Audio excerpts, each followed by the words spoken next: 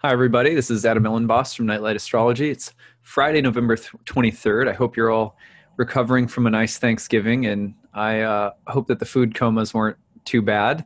Um, I am sitting down today to make a recording that is meant to be a part of a series of recordings that I'll do, you know, spontaneously here and there, looking at um, how to track the moon. So, the basic reason I want to do this is because for those of you who are out there and would like to learn something about tracking the planets on your own, there's really no better place to start than the moon.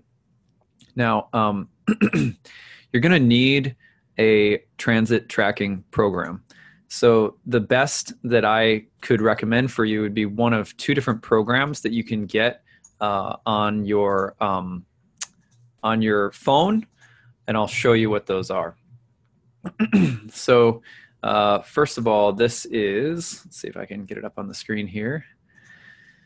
This is astrograph.com. Astrograph has a Black Friday sale. I work for them with, I write monthly horoscopes for them, and uh, I have their program as well. It's a nice program. Um, but if you go to their apps and you look at time passages software, for iPhone. If you have an iPhone, this is a really nice one. I don't actually believe they have it for Android yet or Galaxy or whatever other phone you have. Um, but you can also get it for your computer and track the transits this way every day. It's a really nice way to start learning how to track transits because it's very basic. Um, so you have to have some knowledge already of which planets are signified by which glyphs, have a basic working knowledge of the glyphs of the signs, and some a little bit of knowledge of birth charts in terms of how to look at them. But if you get a program like this you can have the astro clock on on your desktop and watch the transits moving and that's a really helpful way basically of um, uh, learning to track transits and getting sort of better at it. Now the other one that i'm going to show you is um, let's see here. Uh, okay so this one if i can find it is for Android, and it's called Astro Gold. Um, you will, let's see, here it is. Uh, it's on Google Play. You can get it Astro Gold right here. So this is the one I have on my phone. It's really nice. It's a simple way of tracking the transits again and has a very simple, like, where are the planets right now feature. Okay, so those are the two that I would recommend if you have an iPhone or not. And then another easy one that you can look at if you want to track the planetary transits are if you just type in where are the planets right now, uh, the planets today, a view of, a live view of the solar system, um, will pop it up on the screen. And um, is this the right site? Yeah. Uh, you'll have a view of where they are, and then um, if you click on astrology, Western astrology, you will um, have a list of the transits that are right there. This is kind of nice. You can uh, get a sense of where they are, where all the planets are within the signs. It's kind of cool. Another one that works really well are is um, on Google. Let's see, where is it?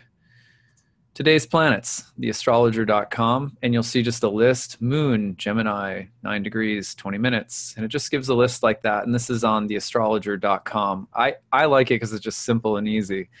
But at any rate, let's go back to our uh, main uh, chart view here.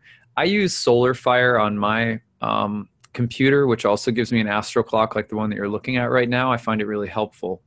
All right, so all of that aside, let's talk about tracking the moon, which is a really easy thing that you can do every day in order to not only learn about planetary transits, but um, you can get a sense of where all of the planets are every day and kind of memorize how fast they move or get a sense of how fast they move that's kind of living in your body it becomes more intuitive. So if someone asks me at any given time like where are all of the planets? Because i look at this every day and i have for years i can tell you where any of the planets are at any given time. Maybe the moon is a little tricky because the moon's fastest but i can tell you what sign the moon is in and what general phase of the moon cycle it's in or whatever.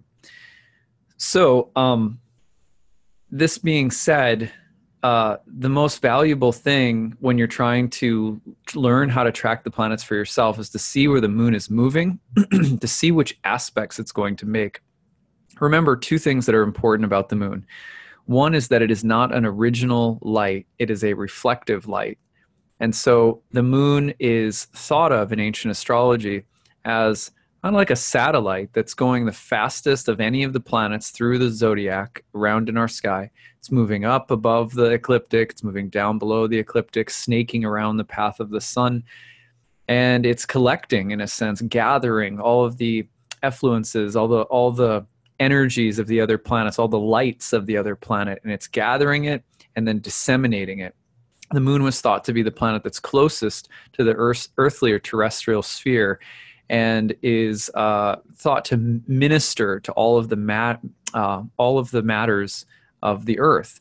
And so the moon is constantly making aspects, Ptolemaic aspects, Ptolemaic ancient aspects, the trine, the sextile, the opposition, the square, uh, conjunction. It's making aspects to other planets. It's gathering their light and then it's disseminating it as it waxes and wanes. And it does so through the four cycles of its phases um, of its monthly uh, cycle.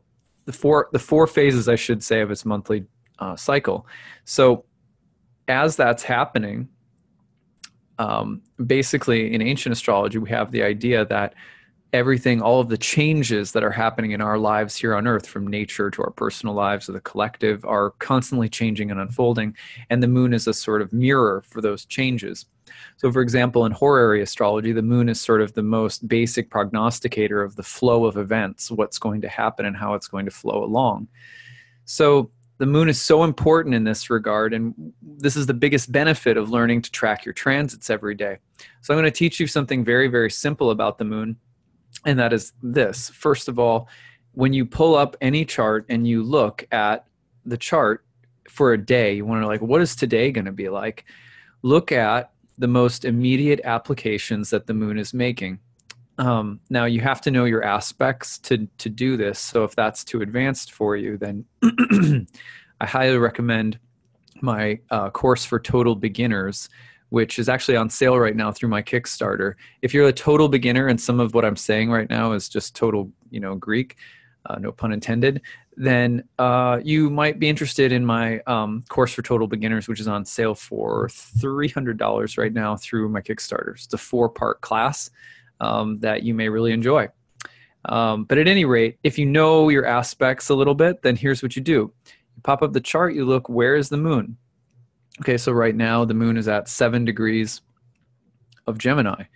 And then what you want to do is you want to roll through all of your major Ptolemaic aspects and you want to look and see if the moon is going to connect by aspect in the next, say, eight degrees, but even more important would be within the next three degrees with any planet.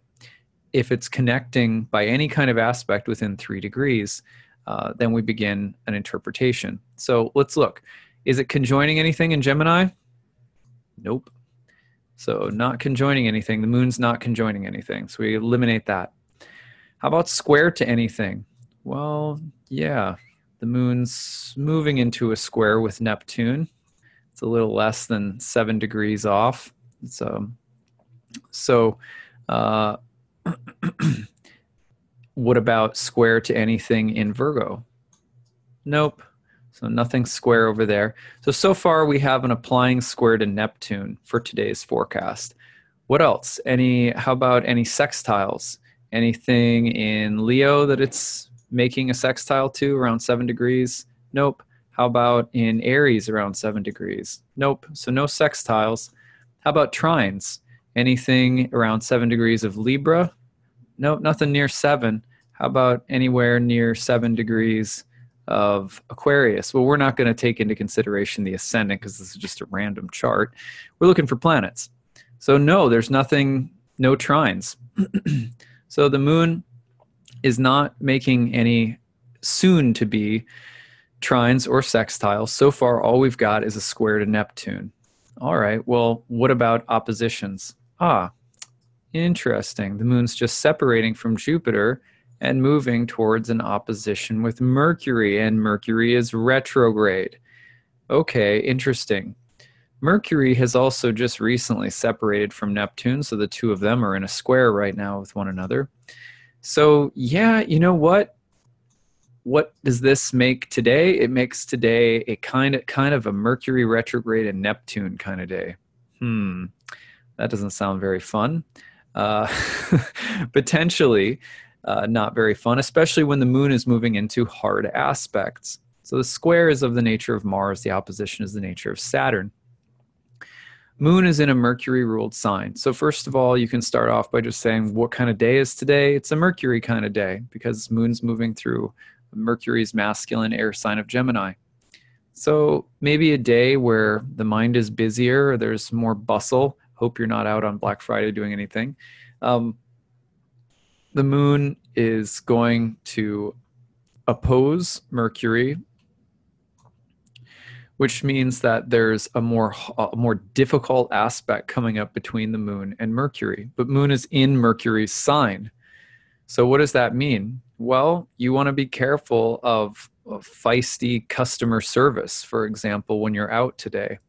Or anything where there's an emotional and mental form of communication and it's rushed or hurried or something might melt down or break or something doesn't quite work right uh, or it's just a little bit tricky or you're eh, feeling the impulsive desire to shop or spend or buy something technology related be very careful of that so impulsive purchases that are um, maybe like for example like last night my wife was like i really want to get a new phone and i was like aha let's wait let's just let's wait a little bit at least until the moon is um, in a better aspect with Mercury, right? Just simple stuff. Um, or uh, what and what to speak of the applying square with Neptune, which can be a little confusing. So this is a day where you may not see everything clearly, you may not rationalize perfectly, you may not make sense of things, or you have to be careful of people that are, um, you know, trying to take advantage of you in any way, or um, where all the information isn't very it's not totally clear or whatever. But this is a really good way to track planets right? To track transits excuse me which is to just see where the moon is moving and see what it's contacting next and then get a sense for what's coming okay? So moon's going to oppose mercury retrograde which is combust the sun and in its detriment and then square neptune.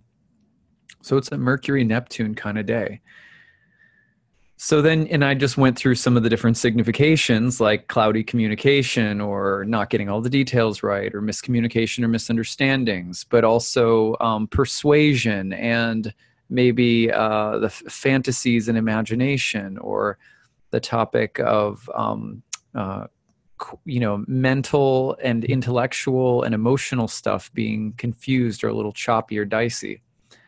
All right. So even and I said customer service because obviously the moon is also kind of uh, generally speaking can be a kind of a nurturer, but it's opposite Mercury, it's, it's which is debilitated. So communicating what you need or trying to help someone with what they need might be a little bit more challenging. You get the idea though, which is that you um, if you have this in mind and you keep a journal, when I was first studying astrology and starting to write daily horoscopes, for example, um, before I made them public, for almost a year, I had a moon journal where I would write down what was going on and pick up a couple of the transits, and not all of them because that can get overwhelming, but just whatever the most immediate were and I would write them down and then I would write out some different kinds of interpretations and then I would just set it aside and forget about it and go through my day. There's a weird way in which omens and signs and symbols don't show themselves when we go searching for them. It's really a weird thing, but most of the time that's how it works. So you got to kind of write it down, take some notes and then just kind of put it aside and go live your life. And then they'll show up and when they do, what you're looking for in that moment is the kind of reflective space that you suddenly get Whereas normally you might get caught up in the events. Now you can reflect and you can go, oh, wow, moon opposite Mercury retrograde. Oh, wow, moon square Neptune. Oh my gosh. Right. So I'm taking my daughter to see, for example, The Grinch, the new Grinch movie, which actually one of my friends works for Illumination. And so I'm also just a big fan of supporting his movies too. So uh, the Grinch is done by Illumination. So we're gonna go see the Grinch this afternoon, a matinee, and I'm like, I'm anticipating, like, hmm, what will happen? You know, what will what will this be? What will this be like? Interestingly enough, just a couple days ago, I was doing a video and I was talking about, oh, you know, Mercury Neptune. You go to a movie and the reel breaks down and there's like puddles all over the floor, and and then you know. So now I'm like, let's hope that I wasn't unconsciously forecasting my trip to see the Grinch with my daughter. We'll find out. But you get the idea. I hope that this was helpful. What I'm going to do in you know uh, different future um, episodes of this how to track the moon is basically just look at different tricks that i've learned over time for making this process a little bit more seamless kind of introduce some basic ideas here and there and give you always some examples from whatever's happening in in the sky with the moon on any given day. So this is something that i'm very passionate about and that's why i chose to do this and i hope that all of you enjoy it Meanwhile, um, I wanted to let you all know I can't. I have to do something obligatory for Black Friday or Cyber Monday or whatever the heck these things are called nowadays. Um, all of my courses are for sale through my Kickstarter. We start a brand new one year online natal chart certification course next Saturday. It meets on Saturdays from noon to 2 p.m. Eastern Time that is $300 off if you donate through my annual fundraiser right now. Um, you can also find my horary astrology course, my advanced year two course, and bundled packages where you can get two of those three courses or all three of them for a re- pretty ridiculous discount. I always do this around this time of year. Um, so, uh, and then there's readings. There's year ahead readings from I. I will record you a tarot reading or an I Ching reading or an astrology reading and stuff like that. So, I will put the Kickstarter link into the uh, the uh, description, the the box that comes with your YouTube video description. I'll put it in there for you guys. I hope that you guys can pick some of that up. I'd love to see some of you in class soon. And I hope again that this little episode of How to Track the Moon was interesting. All right, take care, everyone.